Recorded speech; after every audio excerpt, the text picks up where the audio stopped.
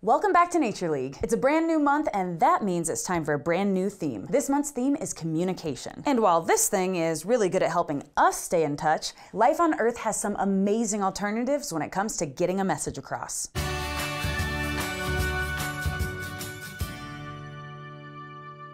Communication. This word can have a lot of meanings, so let's start with a basic working definition. In the study of animal behavior, and for the purposes of this lesson plan, communication can be broadly defined as the passing of information from one individual to another. The passing bit means that a signal not only has to be sent, but also received. So if I'm alone in here talking to no one, I'm just talking, not communicating. Uh, is anyone here? So why does life need to communicate at all? This answer is pretty straightforward. Basically, all pieces of survival can depend on sending and receiving messages between individuals. Reproduction, feeding, protection, coordinating group behavior. The list goes on and on. The awesome part is the fact that all of the species on Earth communicate a little differently. I mean, even a single species can use a huge array of options. Das ist richtig. É verdade. Io ni quelli. Dione. Communication basically comes down to two components, sending signals and receiving them. That part is simple. However, the complexity comes from the insane amount of signal types we find in life on Earth. These signals can be broadly grouped into four main categories, though there are of course some lesser known ones, and probably ones we haven't even discovered yet. These main categories of signals are auditory, visual, tactile, and chemical. Let's check them out one at a time. Auditory communication relies on signals in the form of sound. This one is really common in the animal kingdom, and if your sound is on, it's the one I'm using right now to communicate this information to you. Sound exists physically as waves, and sound waves can travel in both air and water. That means auditory communication isn't limited to life on land. In fact, some of the most famous nature sounds come from marine animals. Auditory signals in some dolphins and whales are so complex that certain species use several different languages, and even individuals in the same region might speak in what we think of as accents. Hey, yous wants to go disembowel the little baby seals? Can you give that to me one more time? I have no idea what you're saying.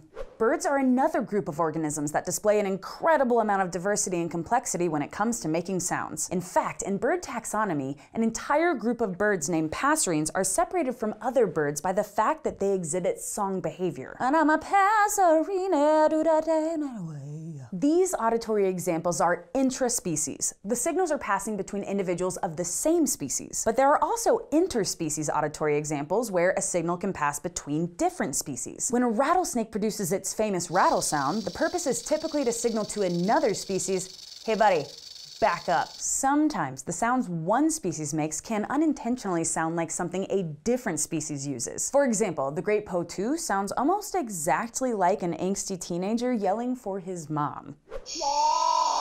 mom. Mom! If you're watching this episode with sound off and subtitles on, my communication mode for this lesson plan has switched from auditory to visual. Visual communication is all about sending and receiving messages that can be seen. Indeed, a picture is worth a thousand words, and simple changes in something like posture can work wonders in terms of getting the point across even without sound. In fact, Humans have entire languages based on only visual signs. In most mammals, facial expressions convey a lot of visual information, but this is just one type of visual signal. Posture can be a signal in itself, as well as the movement of non-facial body parts. Some organisms can even do something as drastic as change their coloration to get a visual signal across, like when parts of female monkeys become bright pink and red to signal that they're ready for mating. Visual signals aren't limited to mammals, though. For example, individual crocodiles will exhibit changes in posture like lifting their snout and angling their head to communicate their intentions when interacting with other individuals. And now for tactile signals. Tactile communication relies on signals conveyed through touch. While sound can travel in waves and visual cues can be seen from as far away as the eyes allow, touch requires, well, touching. Because of this, tactile communication is less common in certain situations. While less common for, say, mammals, tactile signals are commonly used by organisms like insects. Take bees, for instance. A honeybee will perform something called a waggle dance to indicate to other honeybees where they found a recent food source. Dancing out the route to dinner might be categorized as a visual signal given between the bees. However, this movement actually happens inside the nest where it's dark. And while dancing in the dark might seem like a waste of perfectly good visual entertainment, isn't a waste of communication. The honeybees in the nest sense the series of motion using tactile receptors. That brings us to our last main category of signaling, which is chemical. Uh, let's get chemical, chemical. Specifically, biologically secreted chemicals called pheromones. Pheromones are released by individuals for the explicit purpose of communicating with other individuals, usually of the same species. One of the most known examples of pheromones in humans is the ability for us to smell out a potential mate. Someone biologically attractive was just here. But pheromones are used for much more than reproductive attraction. These chemical signals can communicate the presence of danger, direct others to a food source, trigger a series of behavioral responses, and even act as a presence absence indicator of certain individuals. Take a look at ants. When an individual finds a food source, they leave a pheromone trail from the food to the colony so that the rest of the ants can find their way back and forth. A great example of chemical communication is seen in domestic animals like cats and dogs. When my sweet little baby Jane cat comes and rubs her face against mine, she's leaving behind pheromones as a sort of signal, typically called marking. If you've ever walked a dog, you've probably seen this same behavior, but in the form of urine. Several biological fluids contain pheromones, and peeing is an easy way to leave behind a message. We've discussed the whats and whys of several categories of communication, but we haven't touched on the how. How do all of these signals come to exist as the primary form of communication for each species? Like any other adaptation, the types of communication we see in life on Earth is a product of natural selection. Basically, the signals that helped individuals be successful and have more offspring wound up becoming present in populations because they were advantageous. What's cool about this is that the types of signals used by individual species are tailored to their success in the environment. The insane amount of communication types we see is a product of what works for each individual species. Plants use chemical signals because that works for them and was the most beneficial option back in the day. So hey, no need to evolve vocal cords. In general, life,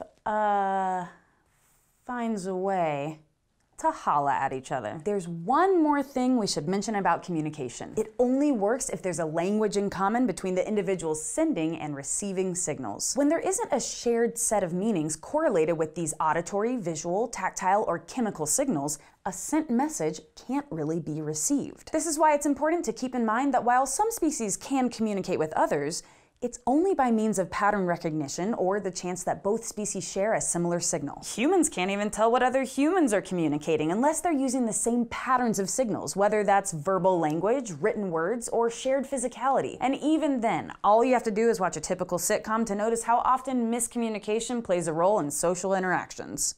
And I said, penguins don't eat popcorn. That's the last time we invite your uncle to Thanksgiving. And just think, these miscommunications happen between two individuals of the same species using the same type of signal in the same language. So we might never be able to truly understand what another species is saying, but we can certainly recognize that everything on Earth has a voice in some form or another. We'll be exploring these forms of communication throughout the month, so make sure to come back next week for a communications themed field trip. And to keep going on Life on Earth adventures with us each week, make sure you go to youtube.com slash natureleague and subscribe.